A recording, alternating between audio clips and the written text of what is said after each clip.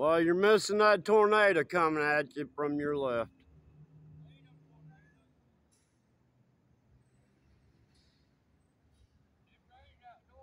Yeah, I know it.